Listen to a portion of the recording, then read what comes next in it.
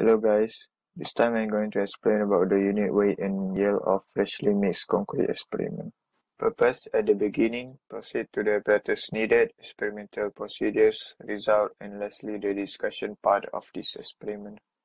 The purpose of the experiment is to determine the unit weight, yield, cement content, and air content of freshly mixed Portland cement concrete. Yield is defined as the volume of concrete produced from a mixture of known quantities of the component materials. The unit weight value is used to calculate the volume of Portland cement concrete produced from a mixture of known quantity. For today's experiment, we need some amount of coarse aggregate, sand, and cement for the mixture. Another things will be the scope, electric mixer, a metal container with the strike-off plate, a mallet, and the internal vibrator. After all the apparatus are prepared it's time to start our experiment. First we need to know the volume of the container. Calculate it by dividing the mass of the water by its density. Do it by weighting the empty container and weigh it again after fully fill it with water. The difference will be the mass of water.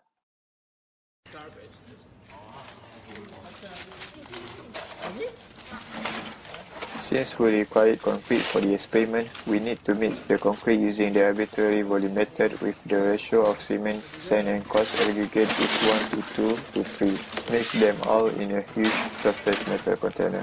Then pour the whole sample into the electric concrete mixer and turn the machine on. While the machine is mixing the sample, add the water into the sample slowly until the concrete gets desired workability and at the same time has acceptable plasticity and solidity. So we are going to put some here for you. Place the freshly mixed concrete into the metal container in two layers of approximately equal volume. Considering the effect of vibration, for the final layer add enough concrete to replace the overflowed concrete.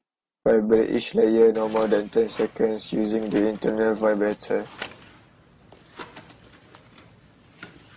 that's, that's enough. No need for all of them. Okay.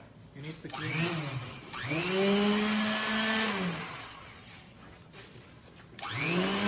Tap the sides of the measure smartly 10 to 15 times with the mallet to release trapped air bubbles.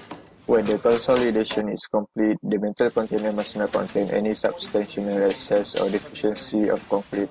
A small quantity of concrete may be added to correct a deficiency. Strike off the top surface of the concrete after the consolidation by placing the strike-off plate on the metal container approximately two-thirds of the opening. Use the strike-off plate to level the surface and use a sawing motion. Incline the plate and make several sweeps with the edge of the plate to produce a smooth surface.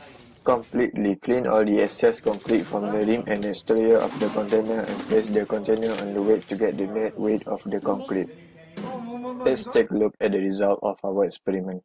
The weight of each components are written on the table shown. By using all these formulas, we could get the result we wanted.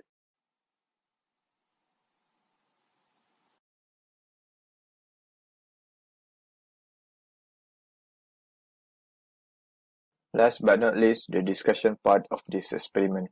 At the beginning of the experiment, we forgot to measure the weight of cement in the batch, NT, Therefore, we couldn't find the actual cement content in the following step. After discussion with teaching assistant, we decided to assume the weight of cement we had used was same as the weight of cement that will be used in the next coming experiment. To reduce the potential error, we will use the same proportion of cement to make the same volume of concrete and also the same rigid metal container in the next experiment. According to the experiment, relative yield of concrete we obtained was 1.1. A value for relative yield greater than 1.0 indicates an excess of concrete being produced. Looking at the result, air content in concrete obtained was 12.9%. This indicates that 12.9% of concrete was void and may be due to insufficient of vibration causing too much of air bubbles trapped in the concrete. After striking off the surface, we failed to completely clean all the excess concrete from the rim and exterior of the metal container. Therefore, the calculation of net concrete weight might have error.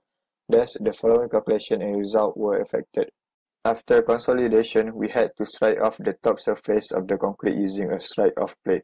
Due to lack of experience, we might not be able to make the surface of the concrete smooth perfectly. That's all guys. Thanks for watching.